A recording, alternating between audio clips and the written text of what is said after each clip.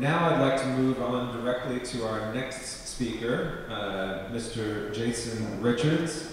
Uh, Jason is the uh, regional manager for the Asia Pacific for a company called Cloudbeds. Uh, he's a longtime hospitality guy. I actually first encountered him when he was the CEO of a uh, chain of backpacker hostels in Vietnam called Vietnam Backpacker Hostels. He's been with uh, Cloudbeds now for a bit over a year, right? Um, and if you're unfamiliar with uh, Cloudbeds they're a cloud-based uh, suite of, of solutions for the hospitality industry. And what's remarkable about that is there's always been technology for the travel, for the hospitality industry um, that's been accessible only to uh, the big, big hotel brands uh, and the big hotel, big chain hotel operators. But these cloud-based solutions like Cloudbeds help to make that technology accessible to, uh, to smaller chains, smaller operators, and independent hotels. So, welcome, Jason.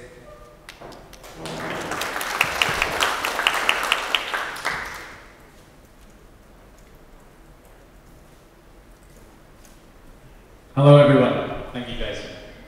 It's uh, really exciting to be here today to um, talk to you about the state of innovation in uh, hospitality in the Mekong region. Um, Cloudbeds, as, as Jason said, we're a, much like Be My Guest, we're a very mature startup, I'd say, um, seven years old now out of the US, and we've been uh, had a presence um, here in Asia Pacific under me for the last 12 months, and it's it's been a really interesting perspective for me, um, coming from the hospitality industry and working in an organisation that has we our technology powers over 17,000 properties globally. We're in over 100 countries, and um, I'm able to, on a daily basis, take the perspective that we get globally, particularly in the US and Europe, um, and apply it to the learnings that um, myself and my team here in Asia Pacific has every day when we, we talk to small independent properties about their challenges and, and how technology can help them. So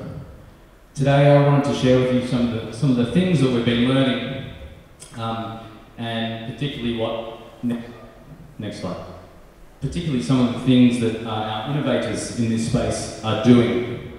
Um, so, to that end, categorise things really in, in a couple of um, brackets. One being new tools, the new tools that are available, um, which Clement talked about a lot, to small um, independent travel operators and accommodation providers in the region. Um, combined with new marketplaces. There's new marketplaces opening up all the time. The world is becoming more and more accessible, particularly with OTAs. And as Clement really well pointed out as well, that the growing regional demands, Southeast Asia from a tourism perspective is um, in a lot of ways the envy of the world with the growth of, um, in demand that we're achieving at the moment. And what this means from our perspective for our, um, for our properties here in uh, Southeast Asia particularly, is it's creating, in my opinion, a, uh, an abundance of viable niche opportunities. So, next slide please. How, what are our innovators doing? What are our small properties doing um, to, uh, to make them these opportunities? They're taking advantage of new tools. Everybody's moving to the cloud. If you're not there already, you're late. And in Southeast Asia particularly, we have a really low adoption level of cloud technology for many of the reasons that Clement pointed out before. We speak to our, our friends in, um, say from the Priceline group, your Booking.com, Agoda, they'll tell us that uh, channel manager technology adoption rate in, in North America is over 90% of properties are using it. Within Southeast Asia, it's less than 30% of properties are using channel managers to control their inventory. So, using tools like channel managers, moving to the cloud, why? Because we can. Technology enables us now. Software as a service is here, it's in most of our homes. We can easily go to our web browser, switch on Netflix, and watch a whole season of TV in a day. We can also manage a property in our web browser on our mobile phone today. It's easy to access. You can access it from almost any device, from anywhere. It's easy to back up. You don't have to worry about your property data, your guest data. If something goes wrong, it's going to be there for you tomorrow. Probably most important and relevant to our region is that it's affordable. No longer do we need to invest a lot of money into hardware in our properties to get things going. It's all in a web browser, it's affordable, monthly subscription fees, and it's scalable. You can start small as your business grows. The costs grow with you. Very, very importantly, to future-proof your business now and be in the cloud, we're taking advantage of integrations through API. Everything is becoming connected. Uh, back one. Forward one. There we go. Our operations are connected. We're using our property management systems in our web app. It performs all of our business functions. It's accessible from anywhere. You manage your property on a bus. It allows you to make informed business decisions and execute competitive pricing strategies. It should integrate with your point of sale for food and beverage operators. You can download on your Android or iOS device a really powerful point of sale system that can run all of your food and beverage operations in your property. And it will connect to your property management system. In addition to that, all the administrative and back office tasks are also happening in the cloud. Marketing tools, reputation management, so important. Finance, business intelligence, HR, housekeeping, task management. There's cloud solutions, literally hundreds of them out there ready waiting for you, all affordable and accessible.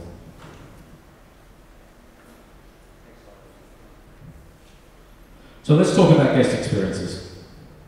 This is what really matters, right? And this is where the innovators are currently getting it right. So how will a guest check in in 2020? We might imagine them checking in on their mobile phone before they get to the property. They might arrive at the property and see a kiosk, much like you do at the airport, they check in via the kiosk. Sends a message to their smartphone, which turns into their door. They go to their room, they swipe their phone, they open the door. Maybe they use their Apple Watch open the door. That's not 2020, that's right now. There's literally thousands of hotels all over the world doing this right now. And the technology to do it is literally hundreds of solutions and it's all accessible right now. What does that mean for guest communications? Automated concierge, devices in rooms. Some hotels now have Alexa type devices where you ask your room to book you a taxi. You ask your room to raise or lower the temperature.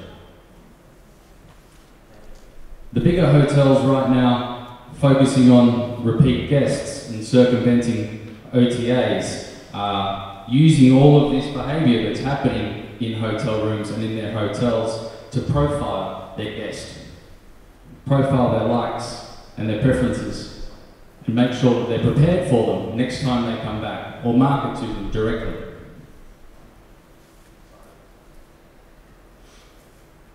So let's talk about markets. Already talked about channel managers um, and OTAs. There's literally hundreds of OTAs out there.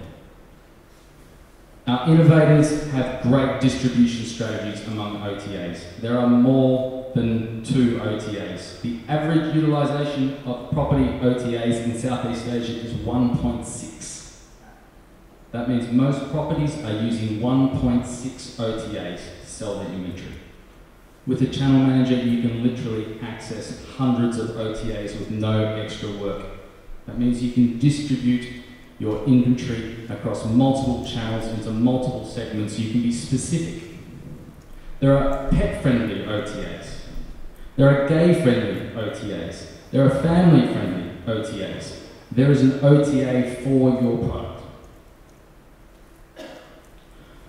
And of course, very importantly, our innovators are using a direct booking engine on their website.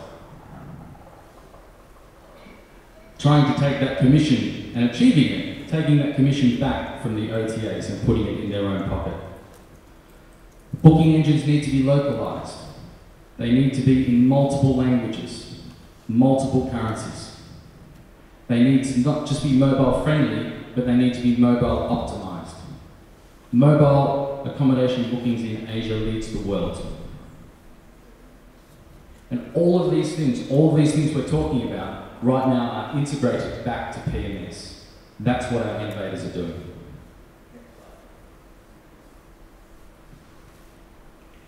And what's it enabling them to do? It's enabling them to target these niche opportunities that are growing really, really quickly within the region. There's 23,000 properties listed right now on Booking.com in Thailand alone. 20,000 of those properties are not four or five star. That's 20,000 small, independent, large, boutique, unique properties every single day on Booking.com. Combine hundreds of opportunities to access different markets. So, what our innovators are doing with all of this is that they are using these tools that I've been talking about to automate manual processes inside their businesses. It allows them to free up their own time to be creative.